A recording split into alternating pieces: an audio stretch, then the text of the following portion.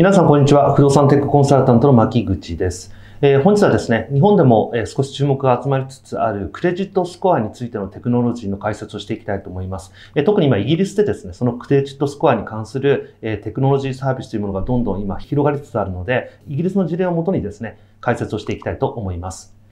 え他の動画でも説明しましたが、まあ、今、イギリスは不動産バブルですね。まあ、UBS の Global Real Estate Index によるとですね、まあ、イギリスの不動産の価格水準は1.5を超えてしまっていると。まあ、1.5を超えると危険水準ということなので、まあ、イギリスってのはもう完璧な不動産バブルですねってことですね。まあ、その原因の一つは供給不足にあります。えー、まあ、どんどん人口が増えてるのに供給が追っつかないんですね。えー、フィナンシャルタイムズのレポートによると、まあ、イギリスの不動産で2800万戸ぐらいなんですけども、年間1%の単位でですね、えー、不動産供給していかないと、まあ、その需要に供給が追っつかないという状況が生まれているということですね。えー、2800万戸の1%ですから、年間28万戸住宅を供給しなきゃいけないんですけども、それがなかなかできていない。まあ、政府ではですね、公約でどんどん住宅供給していきますということを言ってるんですけど、現実的にそれが追っついてないってことですね。えさらに近年ですね、世界的な金融緩和の、まあ、煽りを受けてですね、イギリスの不動産にどんどんお金が流れ込んでると。まあ、近年ですね、ロンドンにはですね、大体1000億ポンドですね、えー、まあ約13兆円ぐらいですか。まあ、それぐらいのお金が、まあ、ロンドンの不動産に流れ込んでるんで、それは不動産の価格上がりますよねってことですね。今どういう状況か、まあ、世界各国のバブルの比較をした研究があるんで、それをご紹介させていただきます。まあ、世界各国がですね、不動産のバブルと崩壊っていうのをまあ経験してきてるっていうのは他の動画でも説明させていただきました。こちら図を見ていただくとですね、えー、まあイギリスとアメリカの不動産の価格がすごい近年急上昇してるのが見て取れるわけですけれども、まあ、それで比較すると日本の不動産なんて全然微増のレベルでしかなくて、えー、日本が不動産バブルなんていうのはもうちゃんちゃらかしいみたいな状況というのが見て取れます。えー、イギリスはですね、約30年前と10年前、2回不動産のバブルとその崩壊を経験してきています。1990年の初頭、イギリスの南東部の不動産バブル、それが崩壊することによってですね、イギリス南東部の不動産の価格っていうのは47%も下落しちゃったみたいな報告がされています。えー、ニール・モナリーっていう方がですね、不動産バブルの研究をしている、まあ、本を出していて、えー、まあ、業界関係者とか結構読んでる人多いんですけど、まあ、この本ではですね、1993年までの間に約160万人の方がですね、不動産の負の負債を抱えるようになったっていうふうに報告されています。まあ、その後起こったのがですね、1980年代の日本の不動産バブルですよね。まあ皆さんご承知の通りです。えー、1985年から1990年までの間にですね、えー、日本の不動産全体として35%の不動産の価格が上昇したわけですね。えー、その結果何が起こったかっていうと、皇居周辺10キロ平方メートルのですね、不動産の価格水準がカリフォルニア全体の不動産価格水準を超えちゃったみたいなことも、まあ話題になりました。えその次に起こったのが香港不動産バブルですね。えアジア通貨危機の後にですね、まあ、香港の不動産のバブルが崩壊するわけです。まあ、なんで香港不動産バブルになったのかっていうのは、まあ、これも他の動画で説明させていただいてますけども、日本の製造業のお金が東南アジアに流れて、その東南アジアの金融間のお金が香港に流れたからですね。で、アジア通貨危機をきっかけにですね、香港不動産バブルが崩壊しまして、結果香港の不動産っていうのは6年間の間に65%も下がっちゃったっていう状況が生まれました。ただその後香港はですね、まあ、その後順調にですね、経済が成長して不動産の価格も戻ってきています。えー、シンガポールや香港だとですね、シンガポールだと、えー、ピーク時のですね、50%増ぐらいの不動産の価格に去年末の段階でなってますし、これが香港だとですね、132%増みたいな状況になってきてるわけですね。まあこれなんでそうなったかっていうと、中国だとか東南アジア圏の経済が発展したんで、その資金がですね、香港やシンガポールに流れ込んだみたいなのが原因ですね。なので、中産階級の所得が増えたことによって、まあ、自宅の取得が活性化したってことですね。その次に起こったのが皆さんご承知のリーマンショックですね。アメリカ発端としたリーマンショックによってですね、えー、アメリカではですね、290万個が差し押さえになっちゃったみたいなことも、えー、記憶に新しいと思いますが、まあ、イギリスでもその余波を受けてですね、不動産の価格下がりまして、1年間で20%くらい不動産の価格下がったんですね。ところが2009年を境にですね、イギリスの不動産の価格は反転します。その後ずっと2019年までの10年間の間、不動産の価格上がり続けたんですね。まあ、そうすると何が起こるかっていうと、まあ、住宅を取得できないとか、住宅借りられないみたいな状況に陥っているのが今のイギリスで起こっていることですね。まあ、価格上がりすぎちゃってると。イギリス全体平均でですね、住宅の価格が年収の7倍を超えちゃったみたいな形でですね、普通の人が買えなくなっちゃってる。借りられなくなっちゃってるっていう状況ですよね。まあ、この不動産の価格の上昇、賃料の上昇というのがイギリスでは大問題になってきてるわけです。で、もちろん政府でもですね、それなんとかしなきゃいけないってことで、住宅供給以外にもですね、対策ってのはいろいろ打ってます。例えば2013年にですね、デビット・キャメロン首相が、ホームトゥバイっていうスキームをですね、発表してですね、新規に自宅を取得する人向けの支援サービスみたいなものをやったんですけども、まあ、これがなかなかそんなにうまくいかなくて、まあ、結果、取得者の9.6%ぐらいしかそれ使ってないみたいな状況になったわけですね。で、今、イギリスの状況になってくるとどうなってるかっていうと、えー、平均給料の49%が賃料の支払いに充てられてるっていうような状況が生まれてるわけですよね。えー、まあ、給料の半分が家賃になってるんで、まあ、だったら家を買おうと思っても頭金も貯められないじゃんみたいな状況になってきてるのが、今、イギリスで起こってることなんで、この不均衡みたいなものを何とか解消しなきゃいけないっていうことですね。お金を使わないんで、クレジットスコアも良くならないんで、ローンも条件が悪いものしか組めないみたいなことになってるわけです。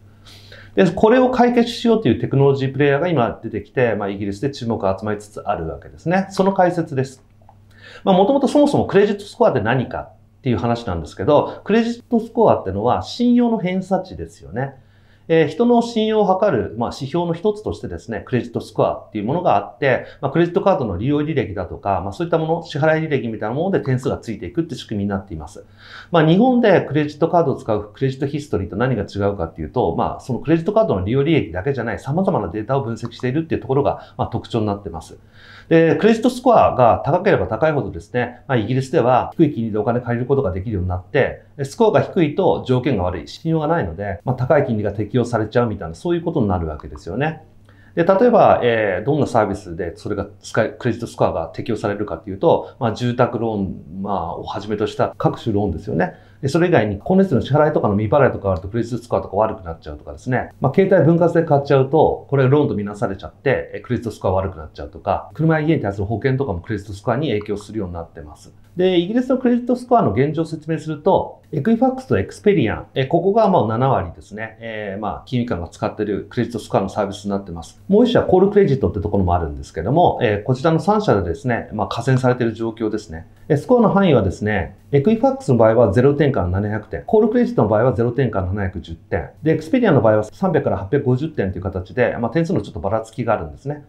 で、まあ、こうしたクレジットスコアを使ってると。じゃあ、その個人はですね、そのクレジットスコアをどうやって確認するかっていうと、例えばこちらのサイト、クリアスコアっていうサイトなんですけれども、エクイファックスのクレジットスコアっていうのが、まあ誰でも簡単に確認できるみたいなサービス。まあもうこれ一般的にもう浸透してるわけですね。えっと、ここでですね、えー、まあ何がテクノロジーで解決できるかっていう問題に移っていきますが、え現在ですね、家賃の支払いっていうものはですね、このクレジットスコアに算入されない要素なんですよね。所得の半分、49%も支払いに当ててるのに、家賃ちゃんと定期的に払ってる人かそうじゃない人かっていうことがクレジットスコアに反映しないって、これちょっと大きな問題ですよねって話にななってるわけです。テナントのローンの支払いに一番関係性が高いっていうのは多分家賃の支払い履歴ですよねって話になるので、まあ誰がどう考えてもですね、この家賃の支払い履歴みたいなものはクレジットスコアに組み込んで、支払い履歴の状況がいい人はスコアを良くして住宅ローンを借りやすくしてあげ、させてあげようみたいなものっていうのはですね、当然求められてくるサービスなわけですね。で、この問題を解決しようということで、政府が2017年の12月にですね、レントレコグニッションチャレンジっていう取り組みを始めました。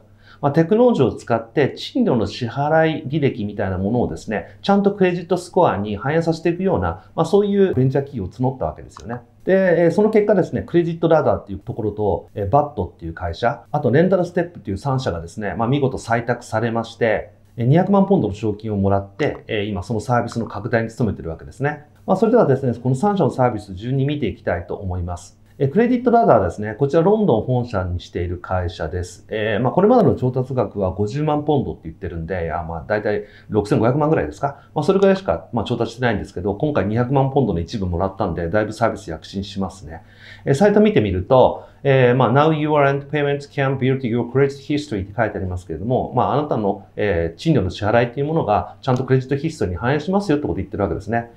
見ていただいて分かると、エクスペリアンとこれ連携してるんですね。で、これテナント側は無料で使えます。あと資金計画のプランニングとかもサービスとしてあるようです。一方でオーナーの方のメリットっていうのはですね、テナントが自分のクレジットスコアを改善するために、えこのサービス使えばですね、ちゃんと期限通りに払わなきゃっていうインセンティブが生まれるんで、オーナーにとって賃料の遅延みたいなものが生まれにくくなるってことが一つのメリットですよね。えー、その他にもですね、クレジットラダーでは家賃保証サービスだとか、督促だとか、えー、家賃徴収のサービスだとかっていうこともオーナーに提供しています。まあ、これオーナーにとってもいろいろメリットがあると。で、まあ、このサービスの結果ですね、エクスペリアンの方ではですね、79%のテナントがクレジットスコアを改善することができたみたいな形の記事とかも、まあ、散見されます。次はバドですね。ここはオープンバンクのサービスの会社で、2015年、20代の若者2人が創業した会社ですね。まあ、もともとはユーザーがいい金融商品と出会えるようなサービスを提供していこうということでオープンバンキングやってるわけですけども、2018年の8月にですね、バドはですね、個人が家賃に払っている情報みたいなものを自分のクレジットスコアに反映できできるような人工知能ソフトウェアを開発してるって発表して、まあ、これがこのチャレンジ、レントレコグニッションチャレンジに採択されたわけですね。で、支払い履歴っていうのはレンタルプロフィールっていうものに蓄積されて、それがあのデジタルモーゲージブローカーだとか、金融機関だとか、クレジットラーダーみたいなそういうところにサービスを、情報を提供することができて、この後説明するレンタルステップもですね、情報連携ができるみたいなそういう仕組みになっています。